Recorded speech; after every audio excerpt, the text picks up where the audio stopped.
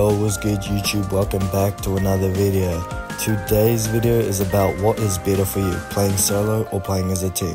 They both have their benefits and some drawbacks depending on how you play. So without further ado, let's get into this banger. Playing solo means you're the lone wolf, like the alpha, the master of your own fate. But what are the real benefits and drawbacks of playing solo? One of the biggest perks of playing solo is getting more rewards. So how the reward system actually works is you get 50% of the rewards for just completing the mission, like so with your team. But the other 50% comes from the titans at you actually kill. Therefore, playing solo gives you more rewards. But does it actually? It really depends. If you're a skill player that can clear missions fast, I recommend playing solo. Personally, when I'm grinding, I play in a team. I feel that it's much faster. Even though I get less rewards, I still get a decent amount of kills. Playing solo will also enhance your skills a lot. Like you have to rely on your own abilities. There's no there's no one saving you.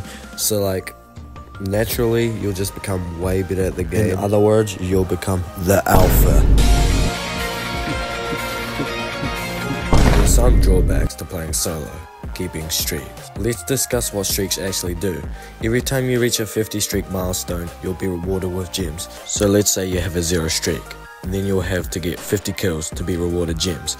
And then you'll have to get 50 kills again to get more gems. So on, so on, so on. You know what I'm saying? You also need a 20,000 kill streak to do achievement if you want Shiki Clan. You know what I'm saying?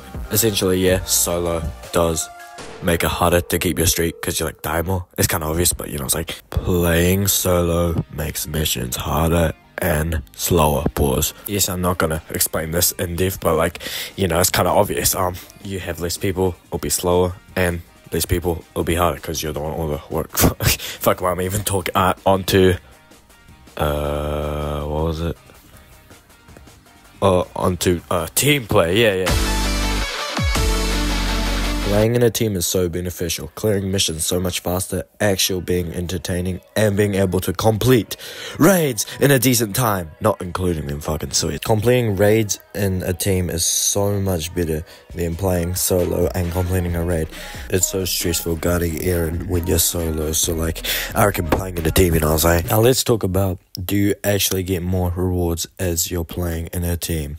Well, in my opinion, yes, that's if you are slow at playing solo. I recommend doing three people for missions and four people for big raids, you know what I'm saying?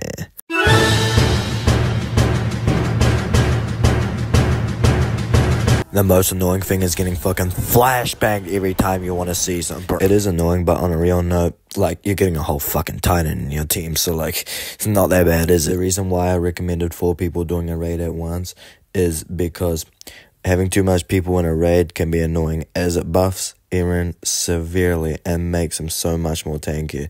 Yes, you'll have more blades, but it still takes longer. Overall, playing solo or in a team is really up to you. If you're struggling finding teammates, join my Discord server, link in the description.